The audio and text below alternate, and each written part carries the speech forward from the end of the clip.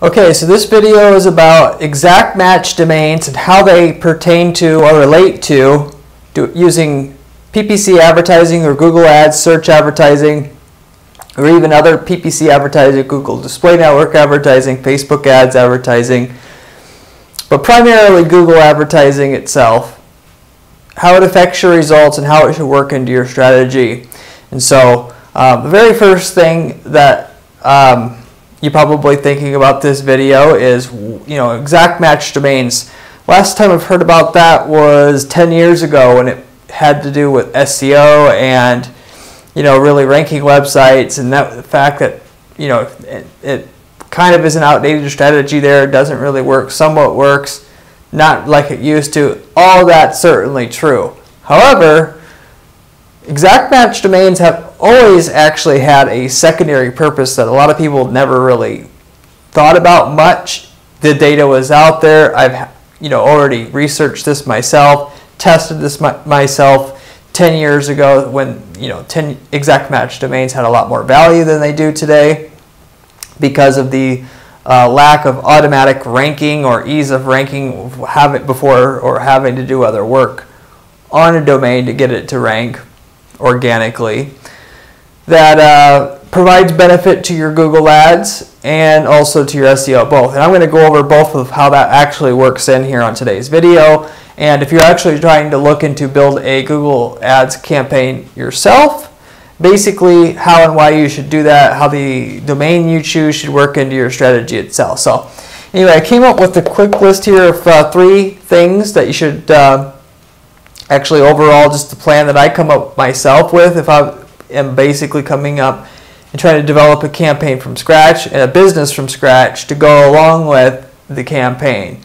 And so, you know, essentially with that, I will say a lot of times what people will do, if they have a product company, one of the most a common, I shouldn't say very common, but a common strategy that my clients have, and I have also started suggesting to a lot of people recently, since it does work so good, is if they sell, have an e-commerce site, we'll have secondary subdomains for each of the main category or mainstream or, or main types of categories of products that they have or applications or uses for the product that, that they have. So if you had, for instance, a paint product and the paint product could be used for a car and a boat, having the type of paint it is for you know, auto paint, the type of paint, car paint, and basically having two de domains dedicated for each thing, even though the website itself pretty much is a mirror copy with some slight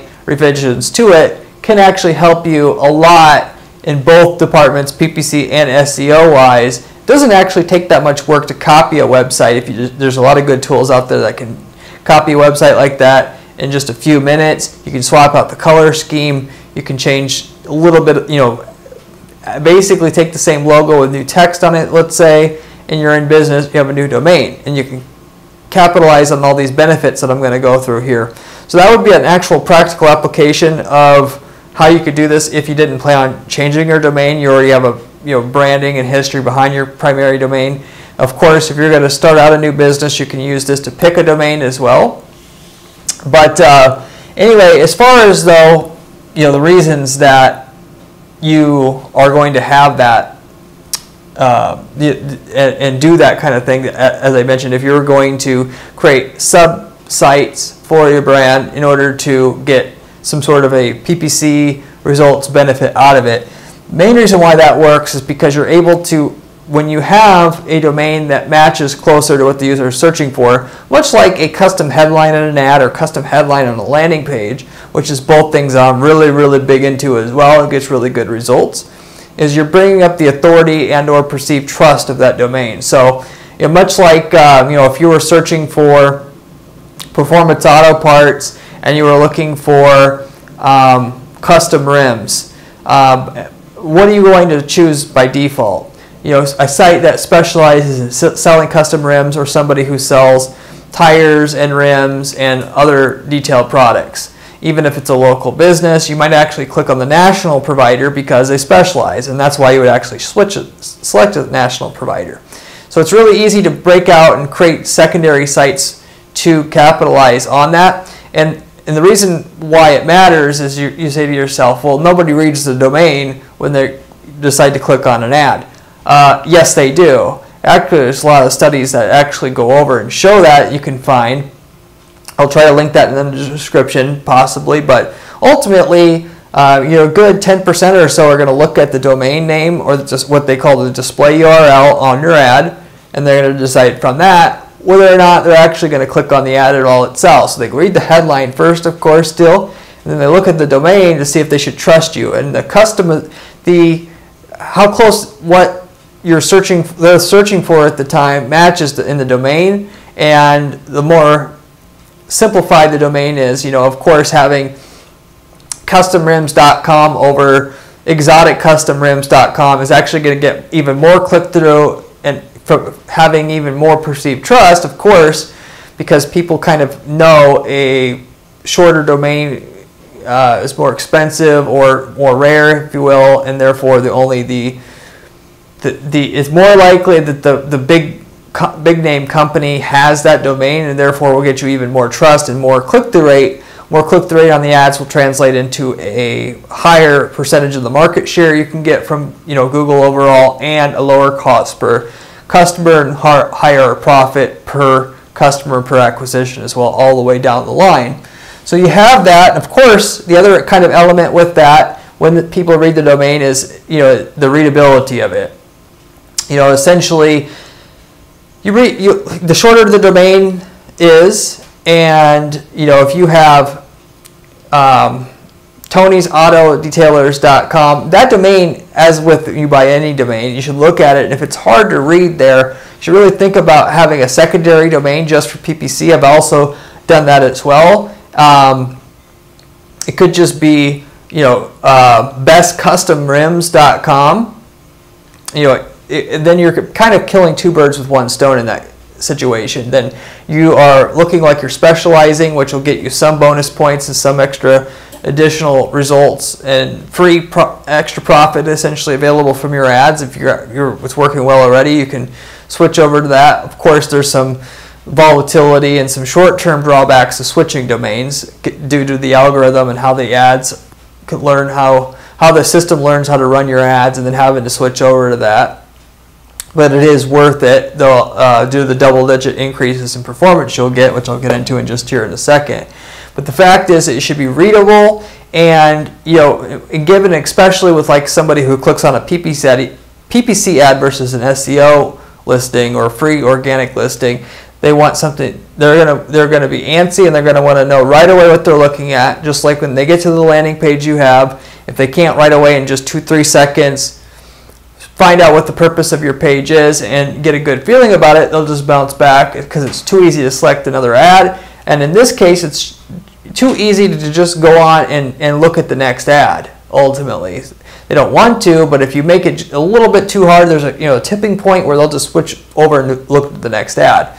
So anyway, if you do get something that has both of those kind of elements in there, you really nail it, you know, hit it home or invest in a premium domain. From what I found, you can usually increase the click-through rate as much as 50%, 30, 50, 30 to 50% generally, but up to 50%. And within that, um, you can also increase your conversion rates if you buy a premium domain with that, depending on how you do it. Mostly on the increase of conversion rate comes from having a premium domain, adds more trust in and itself. You can increase the conversion rate of your landing page and your site overall as much as 50% as well. That click-through rate increase will probably result in another uh, if you're at 5 to 1 ROI, that might bring you up to 7 to 1 ROI, bring up your ROI on your campaigns 25% or so, or 6.5 to 1. Pretty much about, you know, you aren't getting a directly a 50% increase in your, your return on account spend by increasing your click-through rate 50%, but you will get about half of that, about 25% or, or, or overall, or, or in other words. So anyway, that's kind of the numbers you're going to be able to get by doing that stuff and investing in a premium domain. You can decide of how much you want to spend on that domain. You may test what I'm saying here on a cheaper domain, but incorporate some of the stuff that I'm talking about here. Certainly up to you, but I've tested this, you know, half a dozen times now. No, it certainly does work, and it's just a tried and true method you're going to be able to use to get good results. Even if you do spend a few thousand dollars on a domain, a premium domain, that will pay for itself. You know, of course, um, potentially a couple months, uh, depending on the volume. If you're you know doing one plus million dollars a year, one to five million in year a year in sales already, I would say that would pay for itself a couple months time already for you. So just to put things in perspective, and even if you're so just a small company, it'll give you a, great, a lot greater.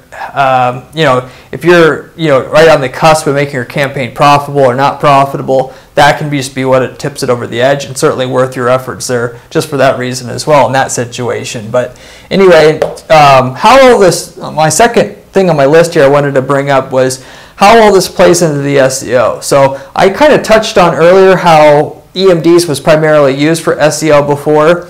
All the stuff that, you know, because of the RankBrain algorithm, PPC ads and, you know, whether or not you are eligible and um, desired by Google to have your ad show up, the same kind of system applies to the organic space. Ultimately, bottom line, they're trying to serve their customers so people come back and use Google again. They want people to click on the ads, but they also want, if people choose to click on the free organic listings, to have a good experience as well. So they'll come back, and, and for the person that just normally likes to click on organic, will come back instead of using a different search engine.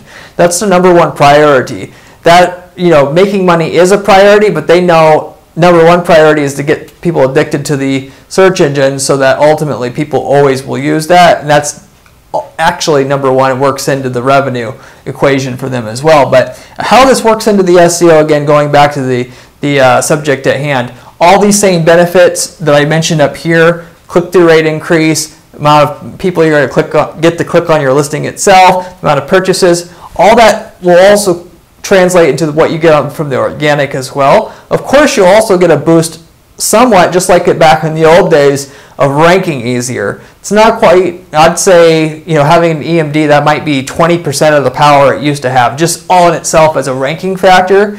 But you can't deny these two things. If, and you know, with that said, part of the RankBrain algorithm has to do with your click-through rate too. So just like changing your headline on your ad to get a uh, better result there, well, in the organic space, if you're ranked number five and you have a better headline, you can jump, you can get a higher click-through rate than number one, you can ultimately go to one just based upon that one factor and how the feedback loop works.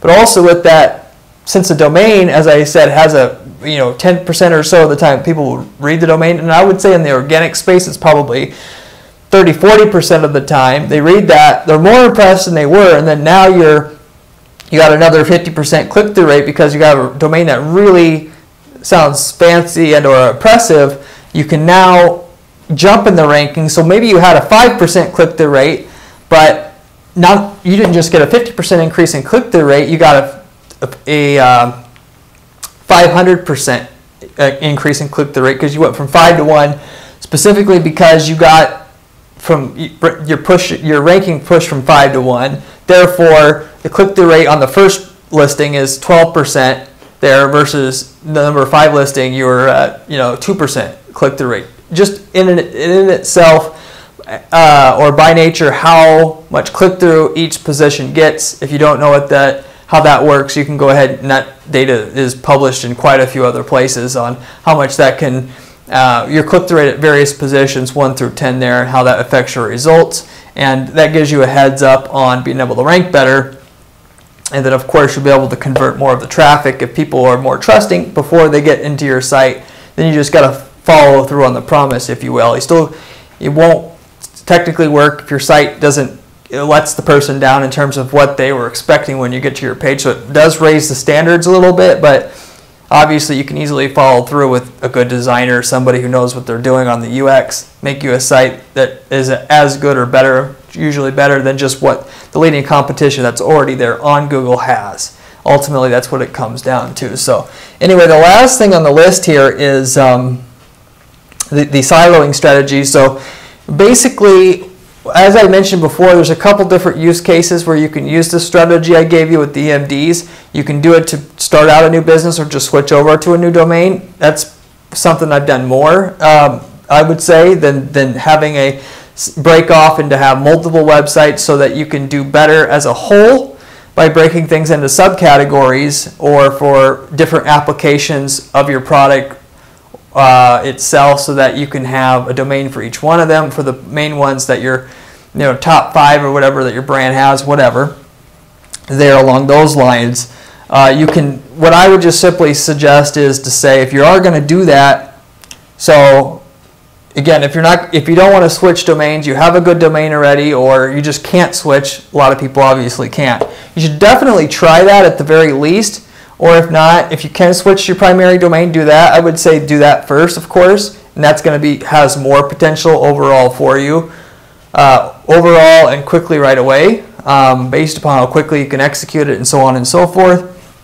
Pretty easy to switch a domain over on a site, an active site, and just 301 redirect your old domain to your new domain to bring over all the rankings with it, and of course switching all your ads. It will shake things up a little bit short term, but if you do have a secondary site and that's, that focuses on a, a secondary high volume category there, just start with one. Test it out. Do a split test between your current ads or how they were running for the last however long they were running compared to directing that category, that one category's traffic to the new domain and see for yourself the difference. you don't get those numbers, you can come back here to uh, in the comment section and complain, but I know, you know, by and large, you do that even halfway well, you're going to get some benefit. And if you do it pretty well, you'll get these numbers pretty much for sure 30 to 50% bump in CTR or whatever. And uh, you know, double digit increase in the conversion rate just from depending on how much of a you increase the the uh, quality of the domain, if you will. But just start with one, see what the factor is, and then scale out the strategy. All the rest of my PPC strategy pretty much works the same way. You know, uh, lots of stuff takes a lot of time to do, but if it was easy, everybody would do it. What the great, great thing about PPC is, is you know you can test out things on one particular keyword or one particular niche or category, know that it works, and then hire a team to execute on it, knowing what the cost and, and then and or benefit is from that, then and then factor it all out. See, and then you know if you know you can generate an extra you know 20 grand in profit a year just by switching the domain and sub branching out your and having several sites instead of one, and it takes you only a few hours to set that up realistically with the web developer. Why not? So anyway, that's the way that a a renegade marketer is going to think about things. Somebody who can scale their business, bootstrap it, and or just a guerrilla marketing tactic, if you will, and the type of stuff that I use personally to build accounts up from you know basically nothing to generating many million uh, millions of dollars a year in revenue, and it all starts one step at a time. So anyway, I hope you liked the video. Please uh, like, share, and uh, go ahead and subscribe. I have lots of other videos just like this one on my channel, basically going over advanced PPC strategy and things that I've learned over the last 15 years doing PPC for uh, businesses I've owned and clients that I currently work with as well. So thank you for your time.